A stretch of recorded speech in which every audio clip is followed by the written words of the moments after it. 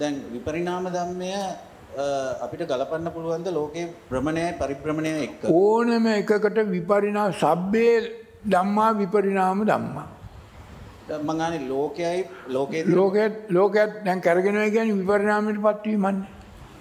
මේ විපරිණාමය දැන් ලෝකය අපි මේ පෘථිවිය පෘථිවිතලයේ මිහිතලයේ කියලා ගත්තු ගම්මුකෝ. මේක එක විදියකටද විපරිණාමය පත් වෙන්නේ එහෙම නැත්නම් කීප විදියකටද? කීප දැන් මේ ලෝකේ කැරකෙනකොට ලෝකයේ තුල තියෙන ආපෝ තේජෝ වායෝ පඨවිත් කැරකෙනවා. ආපෝ තේජෝ වායෝ ජන් ජලය ගලාගෙන යනවා, උලන් ගලාගෙන යනවා, ගිනි එනවා. ඈ පොළොව කොටනවා, වෙනස් කරනවා. ඒවා ඒවත් වෙනවා ඒක ලෝක. ඒ අතරම ලෝකෙත් කැරකෙනවා. ලෝකෙ කැරකෙනකොට ලෝකෙ සූර්යාවටත් කැරකෙනවා. ලෝකෙ ලෝකෙ වටත් කැරකෙනවා ලෝක සූර්යාවටත් කරගෙන. මේ විපරිනාම ධර්ම එතකොට මොකද? කම්පිතම් ප්‍රකම්පිතන් සම්පකම්පිතන් තුනක්. තුන් ආකාරයකට මේක ඔබේ ශරීර කූඩුවත් ඔය තුන් ආකාරයටම කරගෙනවා. ඇතුළේ දැන් ඔබ හුස්ම ගන්නකොට අර වාතය එතක වතුර බොනකොට මේ ඔක්කොම ගිහිල්ලා මොකද වෙන්නේ? ඔබේ ඇතුළත් ඔක්කොම වෙනසක් ඇති වෙනවා?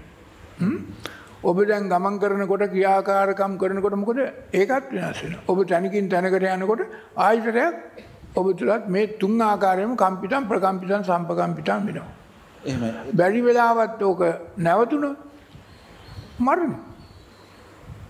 මරණ වුණාම ඔය කම්පිතම් ප්‍රකම්පිතම් සම්පකම්පිතම් මොකවත් නෑ. එහෙමයි. එතකොට අපිට මේ ලෝකයේ භ්‍රමණයයි ඒකේ පරිභ්‍රමණයයි සාපේක්ෂ වශයෙන් ගලපන්න පුළුවන්ද හැම මේ විපරිණාම ධම්මයකට මේ කියන්නේ ලෝකේ තියෙන බුද්ධ දේශනාවට අනුව මේ විපරිණාම ධර්මය කියන එක ඔය ඕන තැනකට ගලපන්න පුළුවන්. හැම තැනකටම ගලවන්න පුළුවන්. ගලවන්න පුළුවන්.